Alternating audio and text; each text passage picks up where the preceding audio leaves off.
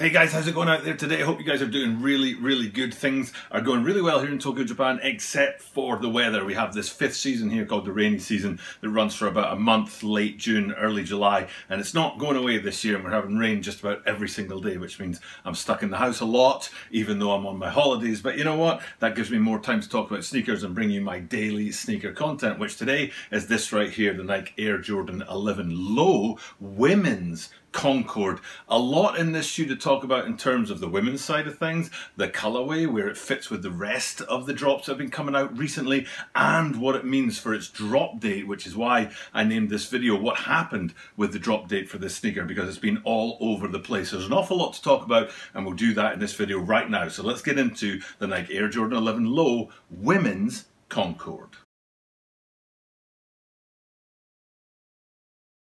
This is the Tokyo Butter 23 Sneaker Channel, Tokyo Butter 23 Sneaker Channel des. Mainichi Absuru no de, Mainichi Mite Kudasai. Every single day from Tokyo, Japan, I bring you content about upcoming sneaker releases, sneaker news, and sneaker reviews. And today what we're looking at is that Nike Air Jordan 11 Low Women's Concord. Uh, I'm not entirely sure why they're calling it a Concord, because a Concord to me would be this colorway, but with the black patent leather around the bottom of it, whether it's a high or a low or whatever, it doesn't really matter. But that would be the Concord uh, colorway to me. But maybe the, the color of the patent leather down there doesn't actually matter uh, for it to be called a Concord. Maybe the design of the shoe, the structure of the shoe, that kind of stuff is all that matters and not necessarily the colours. But that's just me. Uh, and uh, for me, yes, yes, yes, thank you. Uh, thank you, Jordan. I appreciate this kind of shoe. This is the kind of shoe that I just love the brands to bring out, whether it's Adidas or Jordan or Reebok, anyone like that. You know, I'm a, I'm a simple guy. I like my shoes simple. Uh, and I like it when they go back to like original colorways, original color blockings, original silhouettes and go with the sort of standard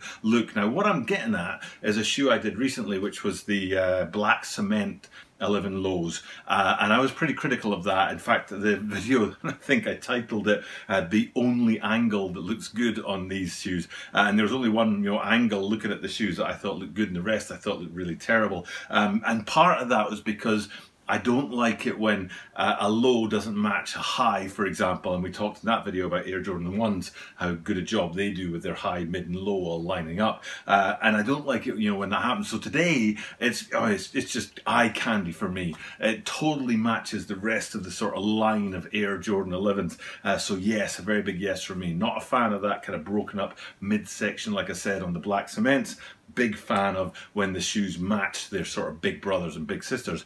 However, having said that, full disclosure, uh, regular viewers will know that I'm an honest guy and I call it straight, tell it how it is, uh, even if that goes against the grain or even if I say things that uh, sneaker YouTubers are not supposed to say. Um, and um, what I'm not supposed to say is I've never liked the 11s and I've never liked that patent leather that wraps around them. I know they're an iconic shoe. I know the Space Jam and all that story that's up there, um, you know, and the, the kind of you know, zoot suity sort of 30s gangster vibe to them, but they're just not my thing. Uh, I don't like shiny things on shoes very much. That patent leather wrapped around these guys, for me, isn't what draws me to the shoe. So, uh, for example, uh, you know what? For example, Varsity Royals, I love the three silhouette and I love the standard three colorways, you know, not the kind of, um, what was it, the Animal Instinct 2.0s, for example, which were a big hodgepodge of many different things, materials and colors and everything. Uh, but those Varsity Royals there, I really wanted them, and then when they dropped on sneakers here, they were a size and a half too small for me, and that's just too low to go. You can't squeeze your foot into a size and a half too small, no matter how thin your socks are. Um, and um, I really want them, but that's your, your sort of standard colorway. And if anything, usually the threes are quite a dull shoe, you know, a matte finish, not very sort of shiny, not very glossy. Um, and that's my kind of shoe. That's a personal opinion though. I'm not saying these shoes are ugly. I'm just saying I don't like them. Uh, and hopefully there'll be people out there who will tell me in the comments down below that they love them. I love it when people have a difference of opinion from me. Um, and uh, But these shoes, yeah, there's a few things to look at. One of them is that women's in the title. I've never been a fan of it. Never liked it when they put women's only shoes out there. I think women's can make women women can wear men's shoes and men can wear women's shoes. Uh, men can wear pink shoes, women can wear blue shoes, and we're looking at a blue shoe right here today. Um, so I always get a bit frustrated when shoes have women's attached to them as if that somehow means only certain people should wear the shoe. I think we should all be free to wear whatever shoes we like. So uh, I'd like to see these guys come out in a full, you know, full size run uh, that anybody could get their hands on if they like them, you know. So uh, so that's just me. Uh, but then, you know, the shoe itself, let's get into that and have a look at the details on it. Now, uh, tomorrow is going to be an interesting shoe because we're going to talk talk about um, maybe me getting my first ever pair of Air Jordan 1s, which sounds a bit strange, of course, uh, but I always put a link down below in every single video in the description about why I had never owned a pair of Jordan sneakers before. So we'll get to that tomorrow. Um, I'm not, you know, obviously going to be looking at these shoes. They're women's and I'm not a huge fan of them, so I'm not going to be looking to get them. But tomorrow's shoe is a whole different story.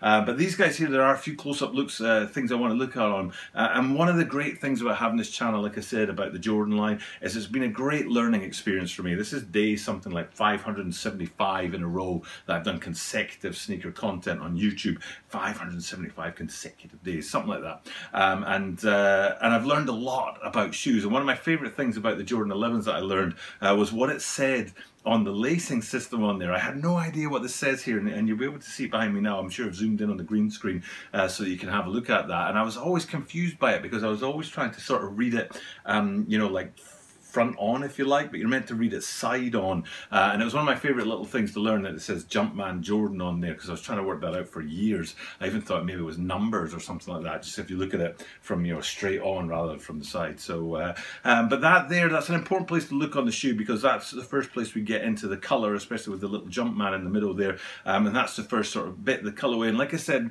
for this shoe, I, I do appreciate the fact that they've gone with the standard colorway and the sort of standard color styling on it. It's pretty much three color shoe, white, black and blue, and they've stuck with that motif all the way through. And that little bit of the lacing system on there is place number one where they do that. Uh, then if we go around to the back and have a look at the back of them, that font that you saw in the front there with that Jordan, uh, that Jumpman Jordan um, across the, the laces, across the tongue there, you see it again on the back with that 23 high up, round about the sort of ankle roll in there. And again, it's that sort of elongated, thin font on there, uh, which is a classic sort of element of the uh, Air Jordan 11 lows big plus. Uh, and then, of course, you know, if we're coming, if we've started high and we're coming down, we get to that patent leather that runs all the way around here. And I think it's worth looking at the front end of the shoe where the patent leather and the lacing system sit side by side because that's the classic look for the 11s, uh, which was missing, in my opinion, from those. Um, black cements that, dropped a couple of in fact I don't know if they've dropped yet but I did the video a couple of days ago. Um, and uh, so that classic sort of lacing system style up high uh, in mesh I think uh, or nylon or, or, polyester fabrics you know man-made fabrics and then down into that patent leather around the whole sort of circumference of the bottom half of the shoe. Uh, and then you get to the outsole on these guys and I'm very happy to say that it's an icy blue outsole. Um, usually that's what it is and you know people would be like right of course it's icy blue. Uh, but then these back to the black cements it was like you know hmm, isn't that icy brown? Does that isn't that ice? Do you think that's icy brown? I thought it was icy brown, uh, or at least sort of like dirty water, icy, dirty icy dirty icy, icy, dirty icy brown, dirty icy, I don't know. Uh, but, but anyway, we're not in that shoe today, we're in this shoe today and it's a very classic icy blue outsole on there and that very classic Air Jordan 11 outsole and it's all very, very clean. So, uh, so coming back, you know, to look at the full shoe, it's that classic colorway, which is what I like to see in shoes. It's very, very simple, but it has all the details in the right place to make the shoe work. The way the blue, the black and the white all play off of each other. So it's just that simple sort of three color colorway. All of that makes sense to me and is a big yes. It's just for me, it's just not my favourite silhouette. It's not the kind of the shoe that I'm going to be digging into my pocket and going after, even if it wasn't a women's shoe. But like I said, tomorrow's Air Jordan 1, which is, um, I've forgotten the name of it, but it's like three colours, like slate, grey, blue, or something like that. I know it's not that, but you you probably know what it is out there already. Um, and, uh, and that's a shoe I'm seriously thinking about getting my hands on, so we'll talk about that in tomorrow's video. But for now, it's time to wrap this video up, and thank you guys for checking out the content. I do truly appreciate it. And I do do this every single day. I mean, that sounds a bit silly or a bit simple, but when you've been doing it since December 2018, every day without a single day missed, that's something um, I'm, I'm kind of proud of. Uh, and I'll keep on doing that and hopefully keep going on with this. So this is today's today's video. This is Monday's video. I'm shooting on Sunday afternoon. So uh, hopefully you guys enjoy the content. Uh, stay tuned for more tomorrow because I'm here every single day. Uh, and because of that, that means that you are guaranteed to see me tomorrow.